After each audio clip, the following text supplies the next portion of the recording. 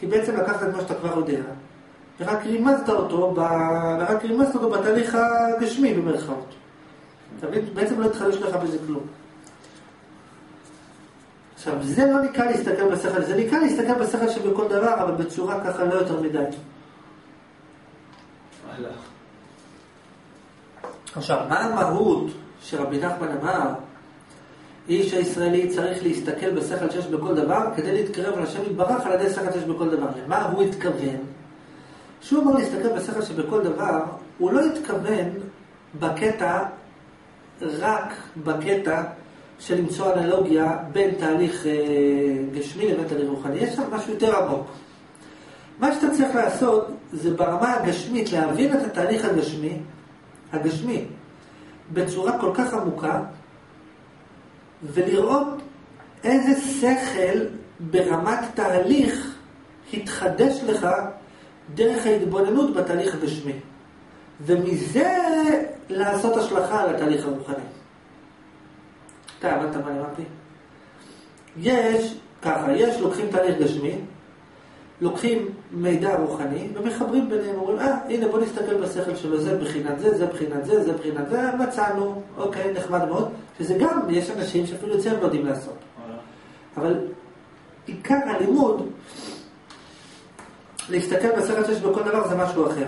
להסתכל בשכל של כל דבר, זה אומר שאם אתה רוצה להסתכל בשכל של המצבי צבירה, אתה צריך ללמוד אותם לעומקם ולהגיע למצב שאתה תרגיש שיש לך בתהליך הזה חידוש שבהתבוננות שלך על התהליך של מצבי הצבירה, אתה תגיע להתחדשות שכלית כלשהי, אוקיי? כלשהי, זה לא משנה איזה תגיע. וברמת תהליכים, לדוגמה, אם עד היום חשבת שתהליכים, אני אתן לך דוגמה. נגיד ש... אה, אתן לך דוגמה, נגיד שיש לך מחשבה שאומרת שדברים מסודרים מביאים יותר הצלחה. נניח.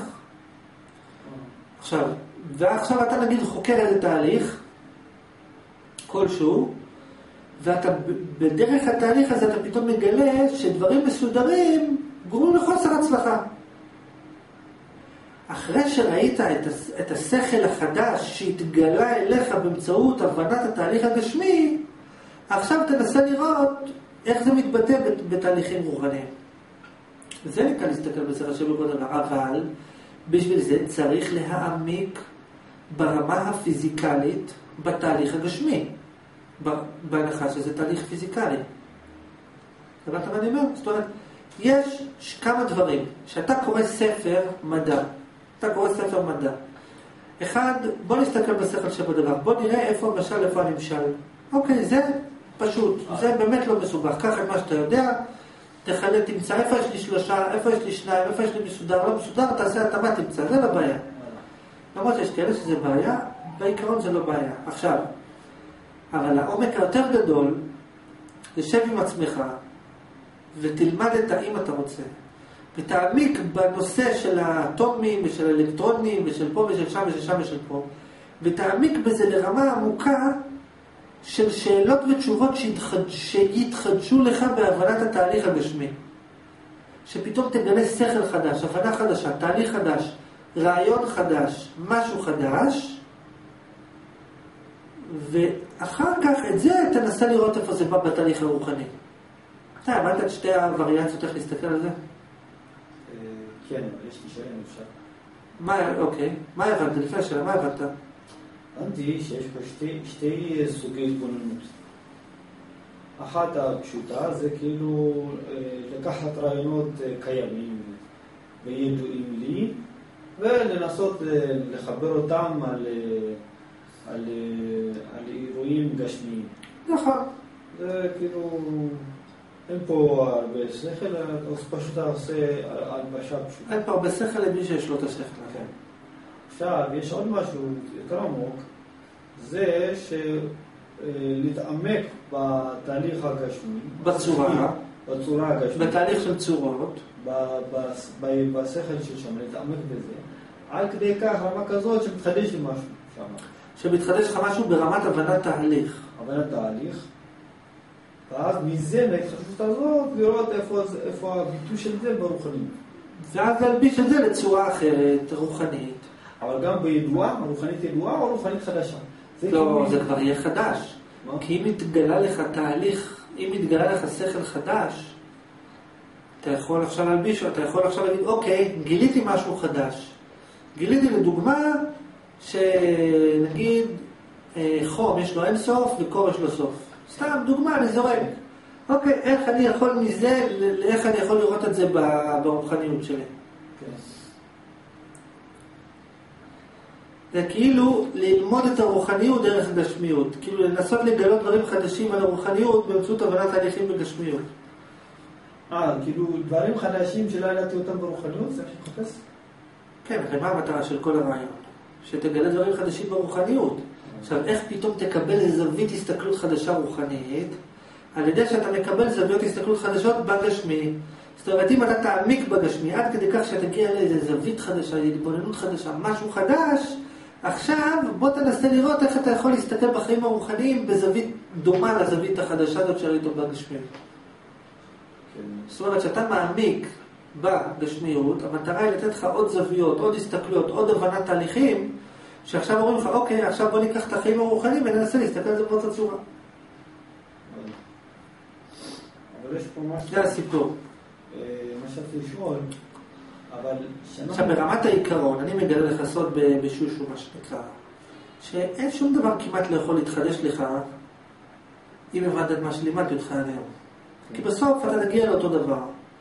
מה שקורה, שכשאתה מתעמק בתהליכים, אתה במקסימום יכול להבין יותר טוב את מה שאני הסברתי לך קודם. אבל בעיקרון, מה תבין חדש? מה יכול להיות חדש? איזה תגלית אתה יכול לגלות חדשה? הרי תגלית חדשה, מהותה בכך שהיא לא הגיונית. אבל אם אתה שמעת ממני שהדבר הכי הגיוני הוא לא הגיוני, מה יכול להתחדש לך יותר מזה? מה יכול להתחדש לך? אין מה שיכול להתחדש לך בעיקרון. ברמת העיקרון לא משנה כמה תעמיק, לא יכול, אתה לא יכול לחדש מעבר למה שאני לימדתי לך. יש לי- כמה שאלות. לפני השאלות, הבנת מה אמרתי? כן. מה הבנת? כאילו אתה אומר שברמת העיקרון לא לא יכול להיות שאני אגלה משהו חדש. אתה לא יכול לגלות חידוש מהותי. אתה יכול להגיד, או, עכשיו הבנתי מה אליעד אמר לי קודם. אבל אתה לא באמת יכול לגלות משהו חדש.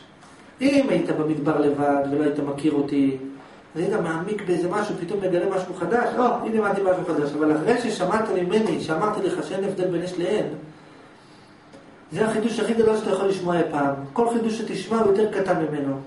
אז מה תגלה? מה גילית? מה אתה יכול לגלות כבר? מה תגלה? אתה יכול לגלות מחדש את מה שאתה כבר יודע, או להבין יותר טוב את מה שהסברתי לך. אבל אין פה באמת חידושים מהותיים ב... רגע, רגע, רגע, אז עכשיו אני בסדר, הבנתי. אז בכל זאת יש לי שאלה. זה כמו שרבי נחמן אמר, ממני עד המשיח לא יהיה חדשות. הוא התכוון להגיד שלא יהיה הקדמות חדשות, כי בסופו של דבר, לא משנה מה תגיד, כבר אה, רבי נחמן אמר את זה קודם, אם, אם זה חידוש אמיתי. רק המשיח יחדש לך הקדמות חדשות. שמשיח אפשר לתת כל מיני פירושים, להגיד אתה המשיח, זאת אומרת אם אתה תבין את עצמך, זה המשיח. יש בסופו של דבר, לא משנה איזה תהליך אתה תיקח, החידוש שיתחדש לך, לא יכול להיות יותר גדול מהחידוש שאמרתי לך עד היום. מהחידוש שאני אמרתי לך עליו, לא יכול להיות. אין אפשרות. כאילו, אם תבין את מה שאני אמרתי לך, אתה לא צריך להבין את כל שאר התהליכים. כן. ואם לא תבין את מה שאמרתי לך, לא תבין את שאר התהליכים. ואם תבין אותם, תבין אותי. אולי. לא תבין אותי. עכשיו... אה, לא, אז עכשיו אנחנו... אז הדבר חוזר לקדמותו. שמה? אז העניין חזר למקומו. לא, שה... שמה מה שרציתי לעשות, אז זה כן חשוב לי. מה? מה שדיברתי איתך בהתחלה, עכשיו. זה כן חשוב. אבל, כדי, אבל, אבל אם אתה רוצה להיות פרקטי, כדי למצוא חידוש, כדי למצוא חידוש שכלי בתהליך הגשמי הזה, וממנו להביא חידוש רוחני, בשביל זה צריך להעמיק בדבר ברמה הגשמית. עכשיו, להעמיק בדבר זה לא לדבר עליו חמש דקות. זה לא, חמש דקות לא יביא לנו חידוש. אתה צריך להעמיק בנושא לעומקו, עד שיתגלה לך חידושים חדשים בתהליכים האלה. וגם אז, אם אתה תבדוק את מהותם, אתה תראה שמהותם, כבר אמרתי לך אותה קודם. אבל אני לצורך העניין, אני לצורך העניין, יכול לחדש לך חידוש חדש, גם בלי להעמיק בתהליך הזה. כי יש את החידוש הכי גדול בעולם, שאומר שאין הבדל בין משניהם, וגם יש הבדל בין הבדל ויש הבדל אין הבדל, בסדר? זה החידוש הכי גדול בעולם. וממנו אפשר לעשות לך הרבה חידושים נוספים. אני לא צריך להעמיק באיזה תהליך כדי, או, הנה בוא נגלה, אה, גיליתי חידוש חדש, בוא נספר איזה חידוש גיליתי. מה זה חידוש? אין פה מה לגלות. יש את החידוש הכללי, שממנו גוזרים לך חידושים שהם פחות, שהם פחות מהותיים כדי שתבין אותם. יש את החידוש הכללי, שאותו אני יודע אותו, גם אתה יודע אותו, ואחר תגלה שאתה יודע אותו, וממנו אני גוזר לך חידושים שהם פחות חדשים. כי החידוש הכי חדש, החידוש הכי מהותי, הוא כל כך גדול שאתה לא יכול לתפוס אותו. אז אני מחדש לך חידושים קטנים. אז בוא אני אחדש לך שככה, אני אחדש לך שככה. כל מיני חידושים על העולם, פתאום הבנתי ככה, הבנתי ככה, הבנתי ככה, הבנתי ככה, כל מיני חידושים. ובסוף, בסוף, בסוף, בסוף, בסוף, תגלה את החידוש הכי גדול. כן. אז, אז כרגע זה, כאילו כרגע זה, העניין הזה, הוא כן תורם לי, כאילו, באופן אישי. למה זה תורם לי? כי זה, מפ... כי זה מפנים לי אה, את המושגים שכבר אני יודע. שאני רואה שזה... כל דבר בעולם תורם לך. ברמה העקרונית. לא משנה מה זה, איך שהוא תורם לך. אם אתה מחפש איך זה תורם לך, זה תורם לך. גם ללכת לישון תורם לך. הכל תורם לך, איכשהו זה תורם לך. גם לחשוב הפוך, זה תורם לך כי זה מחדד לך את ההפך כדי שתבין את ההשתוות שלהם. לא משנה מה זה תורם לך. למה? Hmm? למה? כלום, מה אתה רוצה? השאלה איפה... אם אתה רוצה להעמיק בזה, אם אתה תגיד לי שיש עכשיו גילו זה תגלית חדשה, גילו תגלית חדשה, בוא ננסה להבין איך זה מתחבר, אז תראה עוד פעם, אם אתה נגיד תגיד לי גילו תגלית חדשה, מה אפשר ללמוד מהתגלית החדשה שגילו, משהו חדש גילו, מה אפשר ללמוד מזה? אז עוד פעם, אני אגיד לך דברים, ש... אני אגיד לך דברים שאני כבר יודע אותם מקודם. זה לא דברים חדשים ברמה המהותית, עבורי. עבורך, עכשיו זה גם דברים שכבר שמעת אותם ממני קודם, אלא מה שפתאום אתה כאילו יהיה לך עוד ראייה שזה באמת ככה. אבל עוד ראייה שזה באמת ככה, אצלי זה מחדד לי ומעמיק לי את ההבנה. אבל מה האמת? מה האמת? ככה אני חושב. אבל מה האמת? נכון, אבל מה האמת? כן. שבסופו של דבר אתה צריך לדעת מה האמת בלי ראיות. כי אם פתאום יגלו הפוך, אז מה, נפל כל החידוש שהתחדש? אתה צריך למצוא איזה חידוש, איזה שכל, שלא יהיה תלוי בראיות. כי אם נגיד עכשיו יגלו איזה משהו, וממנו נביא איזה חידוש שכלי, ומחר יגלו הפוך. אז מה, נפל לנו הבניין הקודם? נגיד שיגלו משהו, ומחר יגלו הפוך, פתאום יגלו הפוך. יגלו מחר שכדור הארץ הוא עגול, משולש. אז תגיד, אה, עכשיו התחדש לי חידוש גדול, אוקיי, ומחר יגלו עוד פעם שהוא משושה. אז מה, פתאום נפל לך החידוש? אתה צריך להגיע לאמת שתהיה אבסולוטית, שלא משנה מה יהיה בצורות, לא משנה איך הצורות ישחקו. אם מחר חוקי הפיזיקה ישתנו. נגיד שבן אדם לוקח מודל רוחני שמבוסס על, מקב... על הקבלה לחוקי הפיזיקה. יש חוקי הפיזיקה, הוא בונה תפיסת מציאות שמבוססת לפי חוקי הפיזיקה. כאילו כל דבר אומר, רגע, איך זה בחוקי הפיזיקה? אוקיי, ככה אני פועל. ואם מחר חוקי הפיזיקה ישתנו, מה תעשה? אז מה נפל כל הבניין? צריך למצוא משהו שהוא יהיה נכון בצד הגדרתו. או משהו שהוא יהיה נכון אפילו בלי מצד הגדרתו, משהו שהוא מחויב אפילו בלי, בלי להיות תלוי בהגדרתו. אתה מבין מה אני מתכוון? ברגע שאתה מבסס את השכלים שלך על לבושים גשמיים, מה יקרה אם הלבוש ישתנה? מה יקרה אם פתאום, אה, פתאום קוף, נגיד לדוגמה, אתה יכול להגיד, אוקיי, יש לנו דומם צומח חי מדבר. מה יקרה, ולפי זה אתה מבסס איזה תפיסה וזה, ומה יקרה אם פתאום, פתאום מחר בבוקר, כל הבעלי חיים יתחילו לדבר. יתחילו לדבר, פתאום הקירות יתחילו לדבר, מה תעשה אז? אז מה, כל התפיסת מציאות שלך נפלה? תגיד, רגע, אבל אני לא מבין, אבל פעם הוא לא דיבר איתי, איך הוא מדבר איתי? אבל כל הפרספקטיבות שלי נפלו. לא, אתה צריך למצוא תפיסת מציאות שלא משנה מה יהיה הצורות החיצוניות, היא תישאר נכונה בכל מקרה. שבין אם הדומה מדבר, ובין אם הדומה לא מדבר, ובין אם זה חי, ובין אם זה מת, ובין אם זה טוב, ובין אם...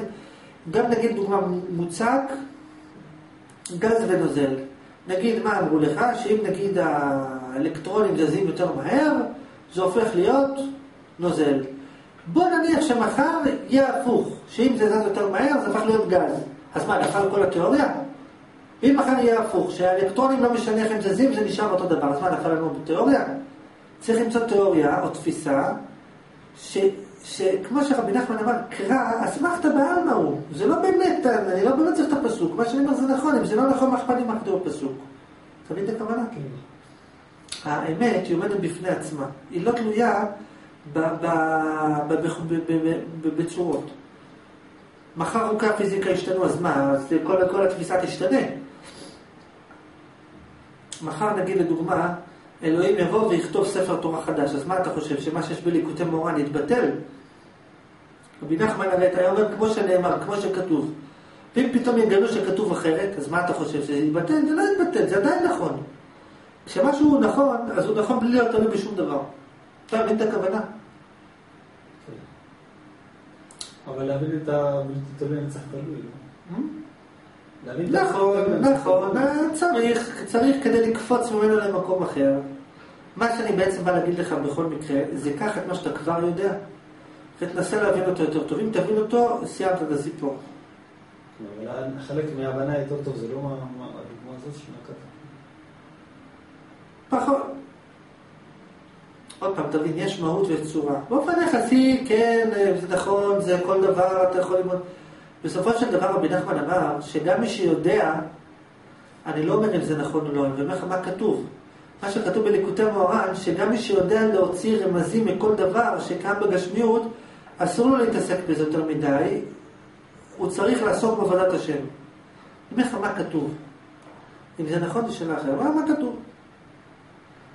כתוב שגם מי שיודע להסתכל בשכל שבכל דבר ולהסתכל ברמיזות שמרמז לו, אסור לו, אסור לו להתעסק בזה יותר מדי, הוא צריך להתעסק כמה שיותר בעבודת השם. מה זה אומר את השם? מה שבאופן יחסי אצלו מוגדר כיותר מהותי. עכשיו אצלי לדוגמה, אני נגיד לא מיישם את הכלל הזה, למה? כי מבחינתי אם אני איישם את הכלל הזה אני לא אעשה כלום. כי אין אצלי עבודת השם, מה זה עבודת השם? שום דבר זה לא עבודת השם. הכל זה צורות. לכן מבחינתי זה לא משנה. מה, לא לא הבנתי, כאילו... מה שאני- מה שיותר מהותי, זה עבודת השם. אתה אומר אצלך מה? אצלך מה? באתי להגיד, למרות שבליקוטי מרן כתוב קצת שונה, אבל באתי להגיד שבאופן, מה רבי נחמן אמר? גם מי שיודע להסתכל ברמזים שהשם מרמז לו, הוא לא יכול אה, להתעסק יותר מדי בגשמיות. למה? כי יש עבודות גדולות מזה. אבל אני לדוגמה לא מיישם את זה. למה? כי אם אני אלך לעבודה הכי גדולה, לעבודת השם הכי גדולה, אני לא אעשה שום עבודה. אין קיום.